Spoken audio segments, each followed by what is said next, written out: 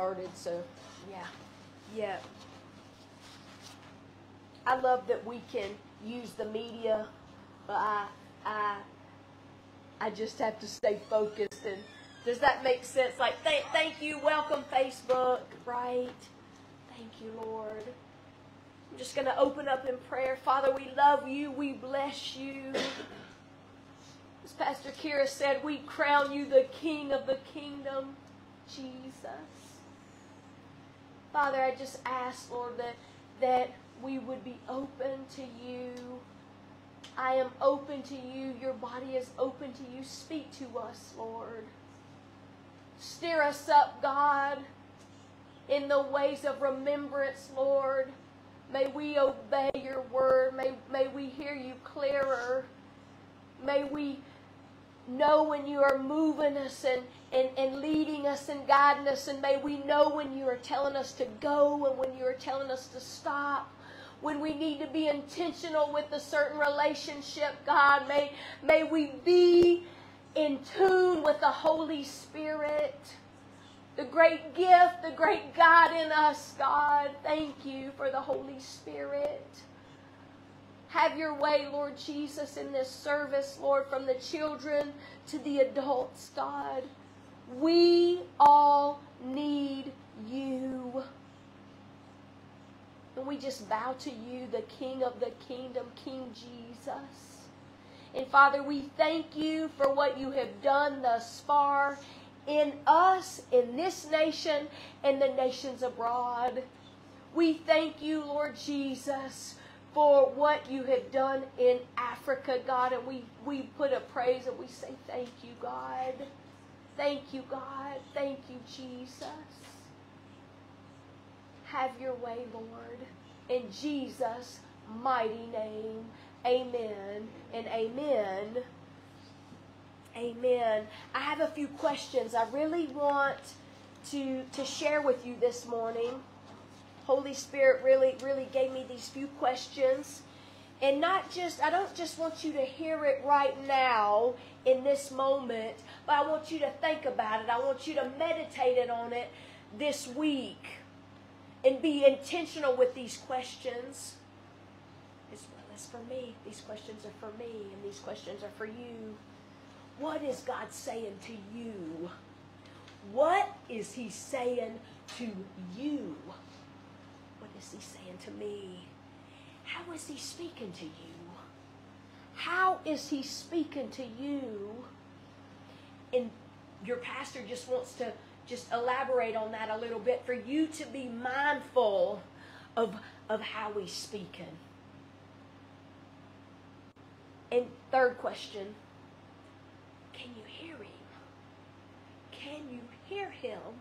So, question one what is God saying to you? How is he speaking to you? And can you hear him? and I just I want I want to say, um, just a, a, as these questions are coming forth, it's like, so you know, what is God saying to you? How is He speaking to you? How can you hear Him?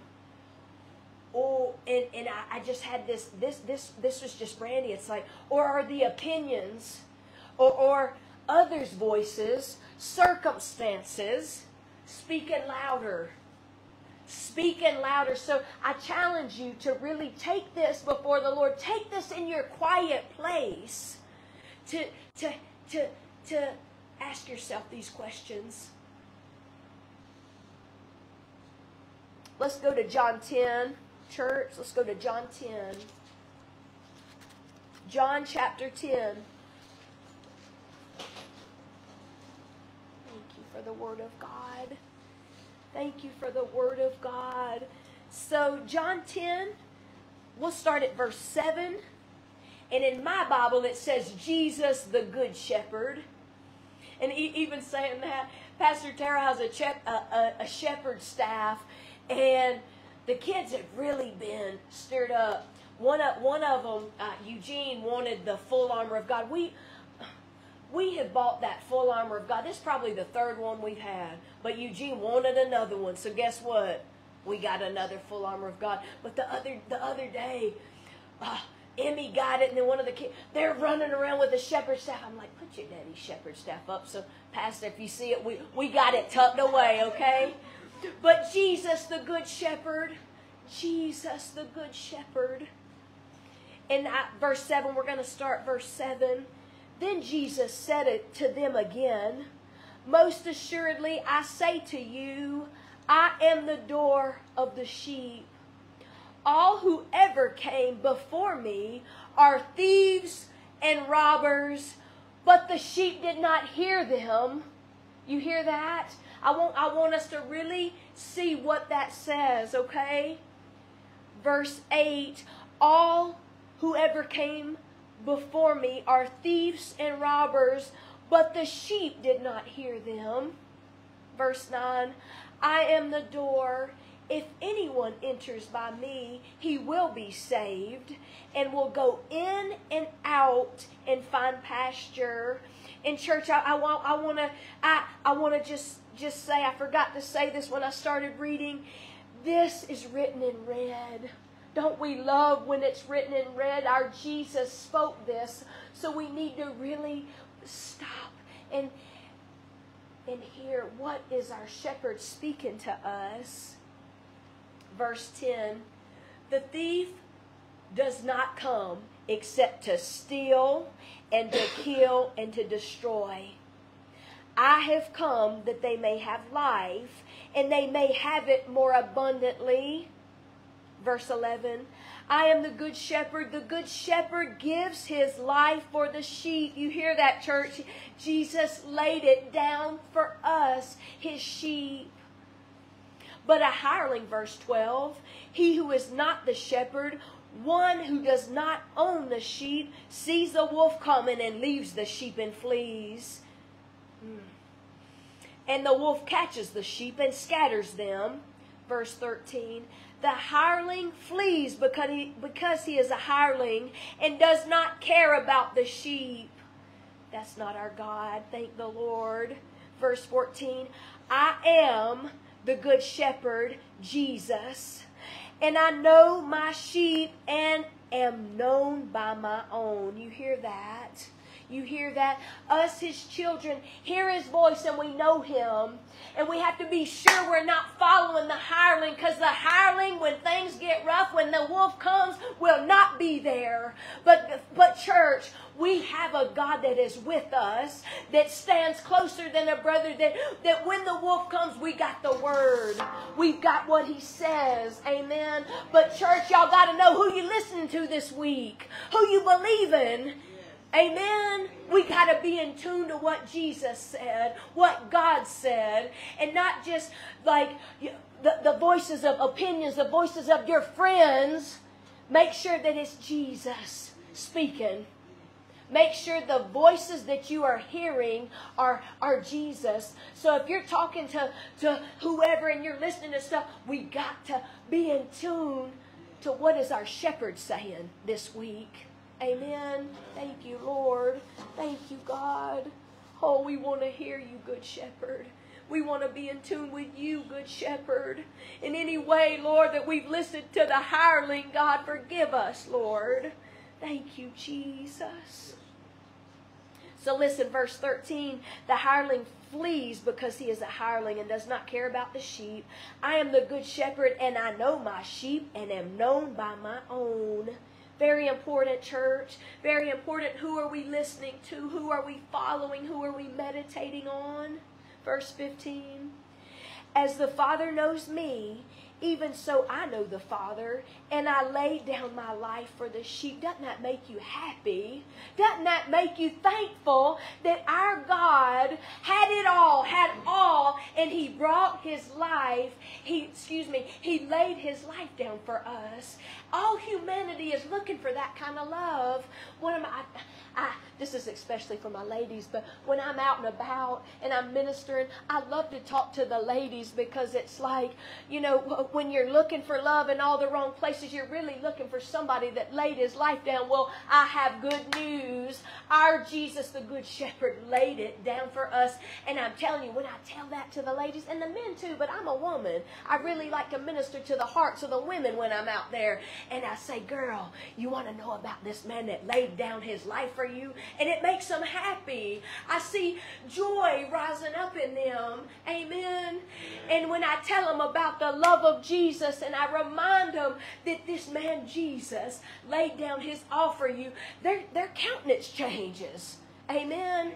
Thank you, Lord. So again, verse 15 as the father knows me even so i know the father and i lay down my life for the sheep and other sheep I have, which are not of this fold, them also I must bring, and they will hear my voice, and there will be one flock and one shepherd. Verse 17, Therefore my Father loves me, because I lay down my life, that I may take it again. Listen to this. No one takes it from me, but I lay it down of myself. I have power to lay it down, and I have power to take it again. This command I have received from my Father. Therefore, there was a division among the Jews because of these sayings, and many of them said, He has a demon and is mad. Why do you listen to him? While others said, These are not the words of one who has a demon. Can a demon open the eyes of the blind? Listen to this 22. The shepherd knows his sheep, is what mine's titled. Now it was the feast of dedication in Jerusalem, and it was winter, and Jesus walked in the temple in Solomon's porch. Then the Jews surrounded him and said to him, How long do you keep us in doubt? If you're the Christ, tell us plainly. Jesus answered them, I told you, and you do not believe.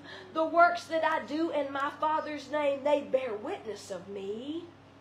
But you do not believe because you are not of my sheep, as I said to you. Verse 27, hear it, hear it again. My sheep hear my voice, and I know them, and they follow me.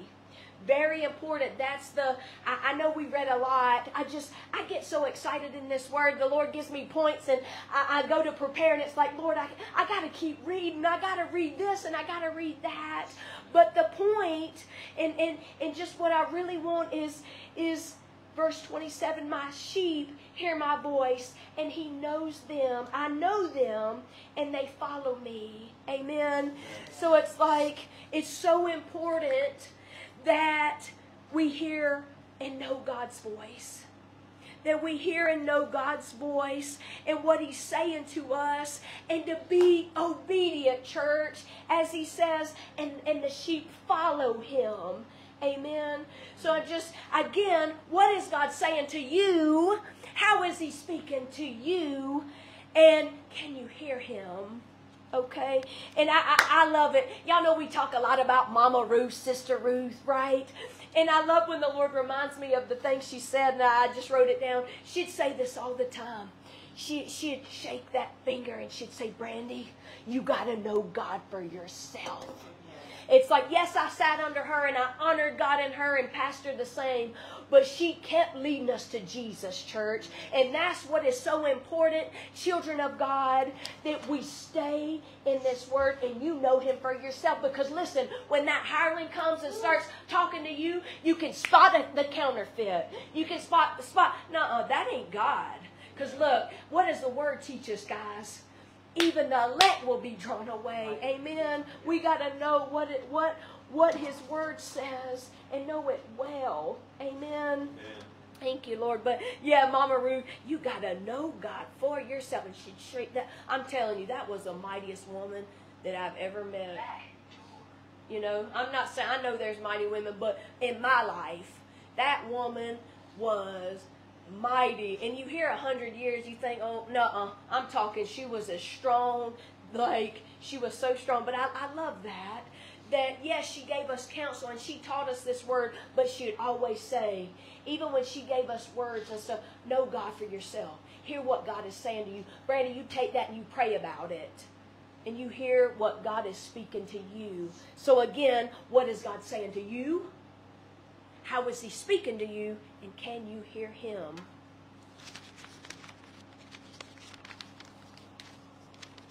I want to go to Joshua 1 8.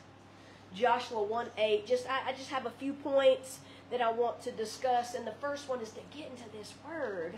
To get into this word. So Joshua 1 8. And y'all y'all know your pastor's favorite one of one of the favorite things about Jesus is that he never leaves us and never forsakes us. Amen. But that that's not that's not where I want to go with this, but it it it's it's in the in the text. So 1 8. This book of the law shall not depart from your mouth, but you shall meditate in it day and night, that you may observe to do according to all that is written in it. Listen to this. This listen to this. For then you will make your way prosperous, and then you will have good success. You hear that meditating in that word day and night, doing what it says to do, and when we do that, we let, let me let me say it exactly what the word says. For then you will make your way prosperous, then you will have good success. Raise your hand if you want to be prosperous. I'll raise my feet too, please believe that. and have good success. Everybody wants that, right? I mean, we want to be prosperous, we want to have good success. It's so important that we stay and get into this word. Amen. Let's go to Psalms 119. Psalms 119.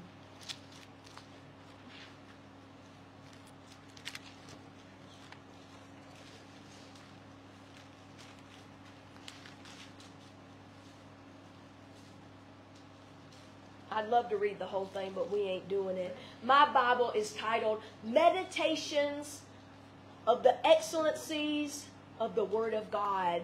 We are going to read 1 through 6. Blessed are the undefiled in the way, who walk in the law of the Lord. Blessed are those who keep his testimonies, who seek him with the whole heart. They also do no iniquity. They walk in his ways. How do you know his ways? Getting in this word. We got to know the word of God, the ways of God.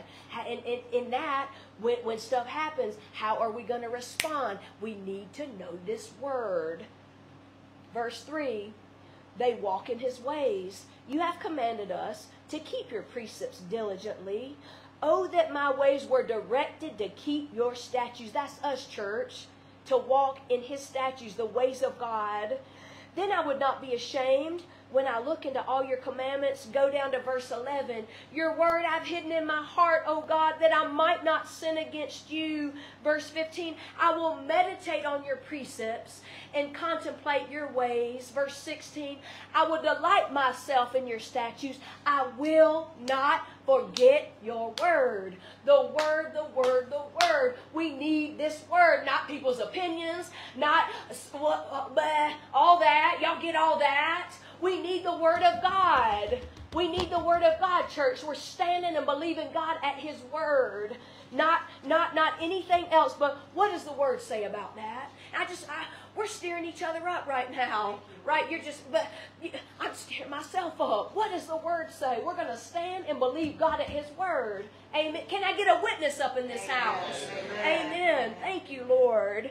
So the importance of getting in this Word getting in this word. So again, when those voices start speaking and you're starting to uh, think about and take note in those three questions, it's like if it don't line up with this, quit listening to it. If it don't line up with this, get up out of here. For it is written. That's what Jesus did when that enemy tempted him three times, right? He didn't come back with, uh, uh, uh, well, so and so said, Sister Sue said, opinions. Well, you know, I'm really feeling this way, okay? He came back with the Word of God. It is written. It is written. Amen. So the importance, church, and I know, even preparing this, I felt like it was a little elementary. But you know what? Sometimes we need to get back to just just basic principles and remind one another, right? And and and to walk this thing out, okay? Walk this thing. How are we going to walk in victory?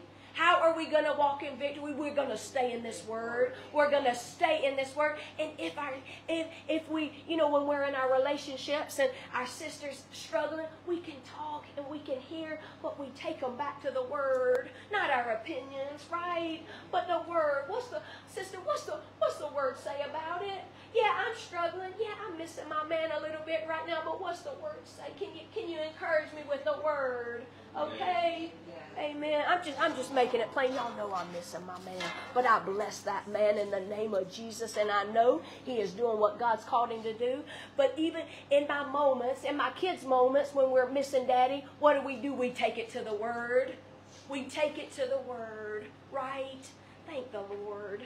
Thank God. I, I, I have to tell I love you guys. I bless y'all. I thank God for this body.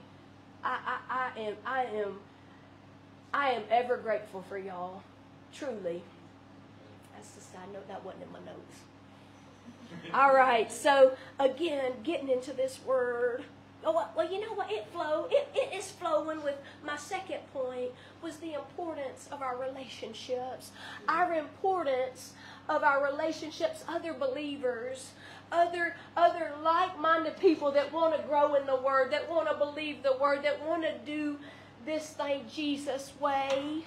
So number two, just the importance of other believers, right? So those three questions, you know, that that that I shared with y'all, I'm gonna go over them again. What is God saying to you? How's He speaking to you, and can you hear Him? So I just, you know, just talking about the importance of the Word of God, the importance of the Word of God, and lining up all those questions with what's the Word say. But number two, other believers and our importance of relationships, our importance to staying connected to every, you know, to other believers. I want to go to Hebrews 10, 23 and 25. Hebrews 10, 23 and 25.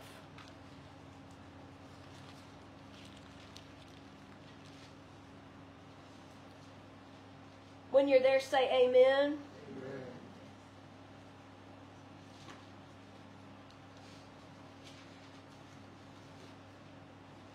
Okay, we ready? Let us hold fast the confession of our hope without wavering. For he who promised is faithful. That was our that was our thing last week, the faithfulness of our God. But let us hold fast the confession of our hope without wavering. For he who promised is faithful, and let us consider one another in order to stir up love and good works. Verse 25 not forsaking the assembling of ourselves together, as in the manner of some, but exhorting one another as and so much the more as you see the day approaching. But do you see that? Let us consider one another to steer one another up in love and good works not forsaken getting together, not forsaken assembling together. It is so important. Our times together is so important that we steer one another up, that we're there for one another, and not just on Wednesday and Sunday church, but like those prayer calls that we do and just staying connected. You know, even I was so encouraged yesterday just with us all gathered with the Malachi Project and getting to be together, you know, and just the importance of our relationships the importance of us. When when when one when when one of us are on another's mind to text to to send that message you know? We don't know that our sister our brother needs that. But i'm telling you i i, I love to to hear from everybody during the week the importance of us staying connected the importance of our relationships with one another. This is one of my favorite verses i want to go to. I share this a good bit. I do i I do. Let's go to Ecclesiastes 4 9 through 12.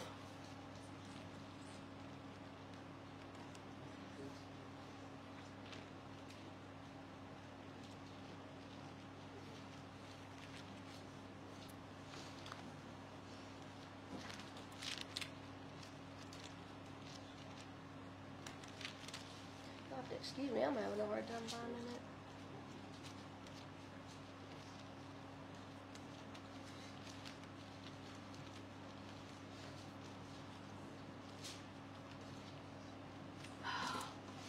excuse me. I, I, I gotta.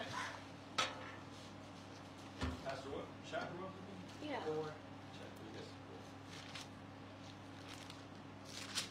Look, I'm getting red faced. sometimes when I'm up here, I get a little nervous. But hey, you know what? Do it anyway. Holy Ghost. and be honest. When Amen. I was a, when I was a little girl, I'd get I'd get nervous in class, and my face would get as red as Anne Marie's dress. She's not in here. And then my friends would say, "Oh, Brandy, why are you so red?" All right, we ready? All right, I'm ready too. Thank God. Thank God. All right, Ecclesiastes 4 9 through 12. Two are better than one because they have a re- good reward for their labor. For if they fall, one will lift up his companion. But woe to him who is alone when he falls, for he has no one to help him up. Again, if two lie down together, they will keep one warm. But how can one be warm alone? Though one be overpowered by another, two can withstand him, and a threefold cord is not quickly broken. That is one of my favorite verses, church, because this is the thing. Y'all know the Malachi Project logo, the, the hand reaching down, grabbing the other hand. T- Pastor Terrell was given that when he was in the prison. And the point is, is the hand of God reached down and grabbed that man of God out of his mess and gave him that vision that he would do the same and help others do the same. But I, I need y'all to hear this. I need y'all to hear this. This this is one of my favorite just just examples of relationship because this is the thing. There are times I need you to help me up, and there are times I'm going to help you up. And we need to be intentional and not be afraid and ashamed to say, hey, look, I'm struggling. I need a little help today. Okay? Because to think I hadn't missed my, my best friend while he's been gone would be not the truth. But I'm telling you, when I was struggling, I reached out to my prayer partner and I just I just said real quick, will, will you please pray? I'm a little overwhelmed. I'm telling you, in 15 minutes, that thing popped up off of me and but but but do you say the importance of, of talking to somebody? It's okay to be struggling. It's okay to be a little overwhelmed. We ain't gonna stay there. We gonna help each other out and not be. Eh, but but but to know you ain't always got to be the one pulling, right? But when you need to pull somebody up, be ready to pull them up. Amen. And when you need to be pulled up out to, to have a voice and say, hey, look, help me, pray with me.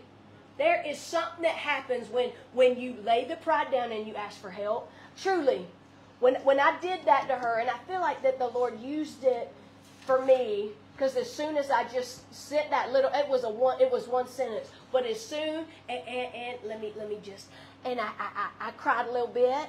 Had me had me some time in my quiet place. But it's it was 15 minutes and that thing was up off of me. Be encouraged, church. We need one another. God created us that way. Amen. Amen. And I, again, thank you for having my back and covering me and the children and, and, and Pastor. I have felt it tangibly. Amen. Let's let's read it one more time. Two are better than one because they have a good reward for their labor. If they fall, one will lift up his companion, but woe to him who is alone when he falls, for he has no one to help him up. Again, if two lie down together, they will keep warm. But how can one be warm alone? Though one may be overpowered by another, two can withstand him, and a three fold cord is not quickly broken. We just want to stop right there and say, Thank you, Lord, that you put us in a body that we can help one another and that we will help one another. Thank you, Jesus. Amen. Amen. Amen. Meditating on the Word of God, our fellowship with others. And I want to leave us with this. I want to leave us with this. Just the importance of James 1:19. Let's go to James 1:19. Y'all know we love the word in this house. We love the word in this house. And we're going to obey what this word says. James 1 19.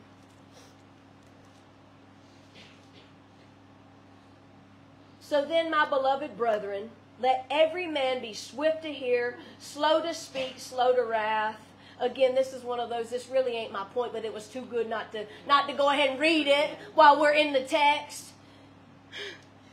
Quick to hear, slow to speak, slow to wrath. For the wrath of man does not produce the righteousness of God. Verse 21, this is really what I want to talk to y'all about, but that, that was just too good to steer us up in, right? 21. Therefore, lay aside all filthiness and overflow of wickedness, and receive with meekness the implanted word, which is able to save your souls. Verse 22, this is it. This is it. We talk about the importance of the word, the importance of the word, getting in the word. But listen what we got to do with this word. Verse 22. But be doers of the word and not hearers only, deceiving yourself. For if anyone is a hearer of the word and not a doer, he is like a man observing his natural face in a mirror. For he observes himself and goes away and immediately forgets what kind of man he was. But he who looks into the perfect law of liberty and continues in it is not a forgetful hearer, but a doer of the work this one will be blessed in what he does. Again, all hands raised in the building. We all want to be blessed. We all want to be prosperous. Amen. Well, what are we going to do about that, church? We are going to get into this word. We're going to obey this word. We're going to follow Jesus and his word, and we're going to be doers of the word. Amen. Can I get an amen? amen. Can I get an amen? amen. Thank you, Lord. Amen. I just decree and declare over this house that we will not be forgetful hearers, but we will be doers of this word. And as you and as me goes out this week, that people will see the Jesus in us. Amen. That we will stop for the one and we will be intentional about the relationships. I got to tell you a testimony. Y'all know this. My internet's been out for almost two weeks. It has been an event. Y'all can see all over the Google that AT&T is on a strike and it's it's causing some folks some problems, okay? But let me tell you this testimony. Listen to this, Vanessa. She she heard it. I have had issue after issue after issue with this internet. It's been insane, right? And I'm not, I, that's not the point. But I want y'all to know just the, the journey with the internet. So my equipment showed up the other day. Me, the, me and the kids was happy. We sat down in this floor. We was about to hook it up. And so I, I get my phone and I go through the steps. Well, the step says, um, now keep in mind, at this point, it had been a week and a half and Vanessa's having a hard time work. Like we're, we're, some difficult stuff happening. Again, that's not the point. Hear the point. So we get the we get our new box. We sit in the floor. We're all happy. We was having us a praise party up in here, right? And I get to the next step, and it says, "Look for the cable connection and hook up your new equipment to the cable connection." Well, this house ain't got no cable connection. My old internet didn't have no cable connection. So I'm like, I can't do anymore. So I get on my phone. I'm trying to get a live person, trying to get, I'm chatting with somebody, right? And at this point, I am like, help me, Lord. Help me, God. Okay, you know, I just, I'm just being real, just being honest. I didn't get, I didn't get crazy with, but it was just, it's just been frustrating with the internet and and we thought we had it. We thought we was in, at the end of the wait. Well, we wasn't. So I'm, I'm talking to somebody on the live chat. The man guarantees me somebody, a technician, will be out tomorrow between 20, 10 and 12, and you'll get a credit on your account. So I'm like, okay, you make happy customer. You make happy customer. Technician will be out tomorrow. I'm going to get me a credit. Okay. All right? So happy 10 to 12 the next day I'm waiting. We're like, we're getting our internet. Well, I get a text. Your appointment is for September the 9th between 10 and 12. Okay. The man lied to me. Okay. And I get somebody on the phone. Y'all hear this. Hear this. I'm, I'm taking you somewhere with this story. I get somebody on the phone and I sat down, I had it on speaker. Vanessa's working in there with her hotspot because we're having to do what we need to do to still get our work done without the internet. And not stopping at that, we ain't grumbling and complaining. I'm making a point.